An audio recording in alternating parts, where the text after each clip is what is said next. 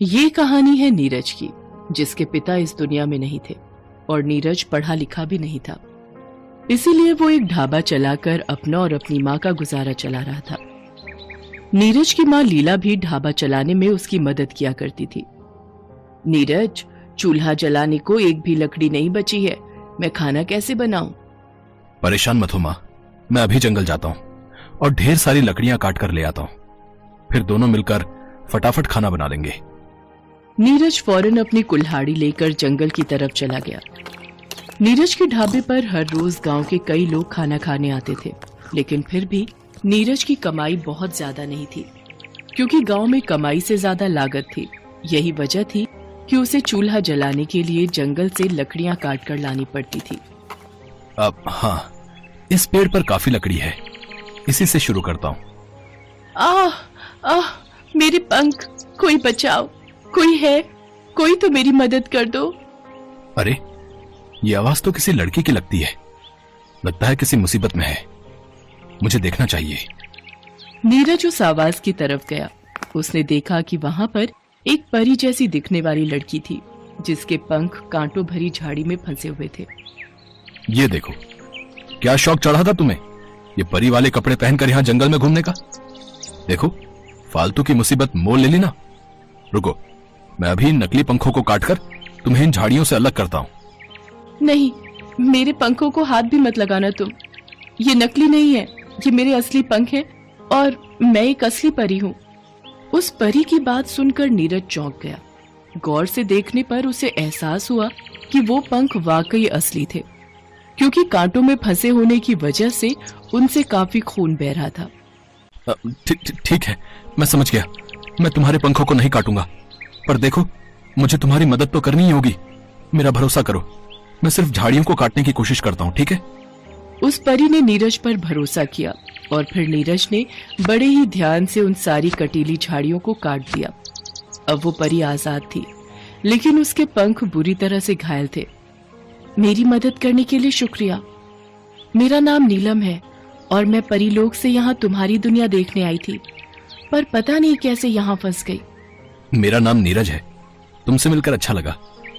तो अब तुम अपने परिलोक वापस चली जाओगी ना? मैं चाहूँ तो भी नहीं जा सकती जब तक मेरे पंख बिल्कुल ठीक नहीं हो जाते। मुझे यहाँ तुम्हारी दुनिया में ही रहना होगा। क्या तुम मुझे कोई सुरक्षित जगह बता सकते हो जहाँ मैं रह सकूँ? तुम मेरे घर पर रह सकती हो। मेरे साथ मेरी माँ भी रहती है। हम दोनों मिलकर अपने घर के बाहर ही एक ढाबा चलाते हैं। आ, बस मैं थोड़ी सी लकड़ियाँ काट लूँ फिर हम चलते हैं। आ, पर लकड़ियाँ तो तुम काट चुके हो। वो देखो। नीरज ने पीछे मुड़कर देखा तो वहाँ लकड़ियों का एक मोटा गट्ठर रखा हुआ था जिसे देखते ही नीरज समझ गया कि असल में ये नीलम का जादू ही था। हम्म तो तुम जादू भी कर सकती हो। पर एक बात बताओ तुमने खुद को आज़ाद करने के लिए जादू का इस्तेमाल क्यों नहीं किया? और अभी भी तुम अपने पंखों को जादू से ठीक क्यों नहीं कर लेती? क्योंकि हम परियाँ सिर्फ़ दूसरों की मदद के लिए ही अपने जादू का इस्तेमाल कर सकती हैं। खुद के लिए नहीं। अच्छा चलो कोई बात नहीं। तुम मेरे साथ चलो। मुझे पूरा भरोसा है कि मेरी माँ के पास तुम्हारे पंखों को जल्दी से जल्दी ठीक करने का कोई ना कोई नुस्खा ज़रूर होगा। नीरज उस परी को लेकर अपने घर पहुँचा और फिर अपनी माँ को उसके बारे में सब कुछ बताया। तुम बिल्कुल चिंता मत करो बेटी। मैं अभी कुछ जड़ी बूटियों को मिलाकर एक लेप बना देती हूँ। उसके इस्तेमाल से तुम्हारे पंख कुछ ही दिनों में बिल्कुल ठीक हो जाएँगे। शुक्रिया माँ जी। लीला के बनाए जड़ी बूटी के लेप से नीलम के पंख बहुत तेज़ी से ठीक होने लगे। लेकिन नीरज के हालात हर बीतते दिन के साथ और भी खराब होते जा रहे थे। आम, ये कैसी दाल मखनी है भाई? है? मक्खन का तो नामो निशान भी नहीं है इसमें। आ, मक्खन कहाँ से डालो भाई साहब? यहाँ गाँव में खाने का दाम बहुत कम है। थोड़ा भी दाम बढ़ाओ तो लोग खाने से ही मना कर देते हैं। अब ये सब बहाने हैं। साफ़ बात है भाई। खाने में स्वाद तो माल मसाले से ही आता है। अगर वही नहीं डालोगे तो फिर तुम्हारे ढाबे पर आने का क्या फ़ायदा? सादी दाल तो घर में भी खाने को मिल जाती है। नीरज मजबूर था। वो चाहकर भी अपनी लागत को नहीं बढ़ा सकता था क्योंकि उसके लिए उसके पास पैसे ही नहीं थे। अरे नीरज क्या हुआ बेटा? क्या बोल रहा था वो आदमी? बस माँ और क्या बोलेगा? दाल मखनी में मक्खन ढूंढ रहा था। नहीं मिला तो नाराज़ हो गया। लगता है अब फिर कभी अपने ढाबे पर खाने नहीं आएगा। नहीं आता है ना आए भाड़ में जाए। तू अपना दिल छोटा मत कर बेटा। ये गाँव के लोग हैं ही ऐसे। हर कोई उधार खाकर जाता है ऊपर से इन्हें दाल में मक्खन भी चाहिए। नहीं माँ लोग जैसे हैं वैसे ही रहेंगे। पर हम ऐसे हाथ पर हाथ रखकर नहीं बैठ सकते वरना हमारा ढाबा बंद हो जाएगा। नीरज के चेहरे पर हताशा और मायूसी साफ़ दिख रही थी साथ ही चिंता भी। उसकी माँ लीला भी उदास होकर अपनी बहन से मिलने उसके घर चली गई। क्योंकि उसके पास भी इस समस्या का कोई समाधान नहीं था। लेकिन वहाँ कोई था जो सही मायने में नीरज और लीला की मदद कर सकता था। हम्म ये दोनों कितने परेशान हैं। और नीरज तो मेरे जादू के बारे में जानता भी है, लेकिन फिर भी इसने मुझसे मदद नहीं मांगी। इतनी परेशानी में भी इन दोनों ने मेरी मदद की। तो मुझे तो इनकी मदद करनी ही होगी। नीलम परी के पंख अब बिल्कुल ठीक थे। वो परी लोग वापस जा सकती थी। लेकिन उससे पहले उसने नीरज की मदद करने का फैसला किया। हम्म तो ये है वो दाल मखनी। ठीक है तो ये गया इसमें ढेर सारा मक्खन। हम्म बस इतना काफ़ी नहीं है। मुझे कुछ और भी करना चाहिए। नीलम परी ने उस दाल मखनी के बर्तन पर अपना जादू कर दिया और फिर वहाँ से चुपचाप वापस अपने परिलोक चली गई। फिर कुछ देर बाद अरे भाई कोई है क्या यहाँ? खाना मिलेगा क्या? आ, हाँ हाँ क्यों नहीं साहब? आइए बैठिए। दाल मखनी और रोटी बिल्कुल तैयार है। बस मैं अभी लेके आया। नीरज खाना लेने ढाबे के अंदर गया। उसने जैसे ही दाल निकालने के लिए भगोना खोला तो दाल के ऊपर ढेर सारे मक्खन को तैरता हुआ देखकर हैरान रह गया। ये इतना सारा मक्खन? लगता है माँ ने डाला होगा। पर वो इतना सारा मक्खन लाई कहाँ से? चलो बाद में पूछ लूँगा। फ़िलहाल खाना लेकर जाता हूँ बाहर। नीरज खुशी खुशी वो ढेर सारे मक्खन वाली दाल मखनी और गर्मा गर्म रोटियाँ लेकर ग्राहक के पास गया जिसे खाते ही ग्राहक का चेहरा खिल उठा। भाई वाह भाई वाह है? सच में मज़ा आ गया भाई। मैंने शहर से एक से एक होटल की दाल मखनी खाई है पर इतना मक्खन तो कोई भी नहीं डालता भाई। और तुम इतने कम दाम में इतना मक्खन डाल रहे हो मानना पड़ेगा भाई मानना पड़ेगा। और ये भी कहना पड़ेगा कि तुम्हारी दाल मखनी का स्वाद भी बहुत बढ़िया है। शुक्रिया साहब मुझे खुशी है कि आपको मेरा खाना पसंद आया। यह बढ़िया है तो पसंद तो आनी ही है।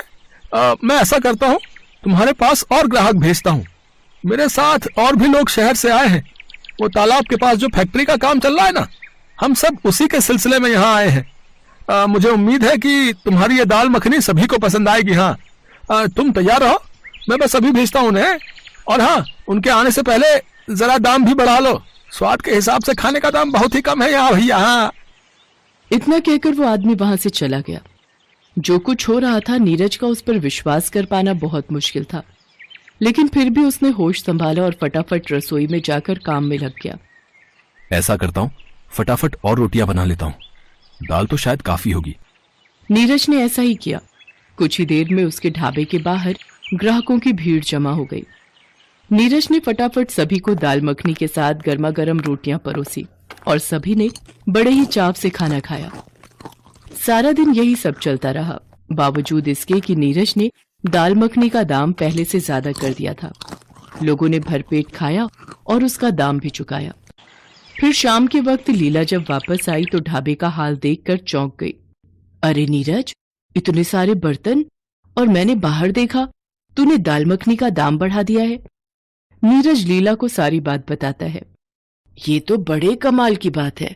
पर बेटा दाल मखनी में मक्खन मैंने तो नहीं डाला। तो फिर वो आया कहाँ से? ये बात तो मुझे भी परेशान कर रही माँ। खैर ये सब बाद में सोचेंगे। अभी मुझे ये बता कि थोड़ी बहुत दाल बची है कि नहीं वरना मैं जल्दी से कुछ और बना देती हूँ। बेचारी नीलम को भी तो भूख लगी होगी ना? आ, मैं दाल का भगोना खोलकर देखता हूँ माँ। आज बहुत ग्राहक थे तो शायद ही दाल बची हो। नीरज ने दाल का भगोना खोलकर देखा तो एक बार फिर हैरान रह गया। क्योंकि दाल का भगोना दाल से पूरी तरह से भरा हुआ था।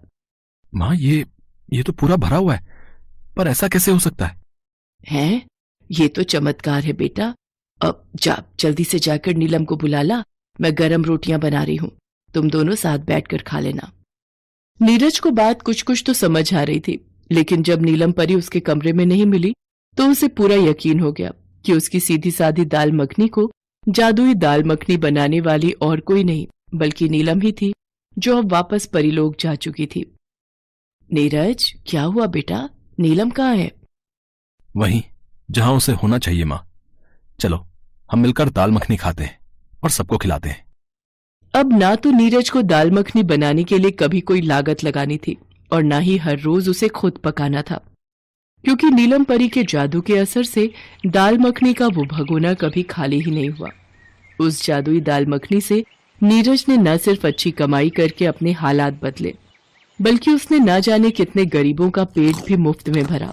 और ये देखकर सबसे ज़्यादा खुश नीलम परी थी, जो परीलोक से हर वक्त बस नीरज को ही देखा करती थी।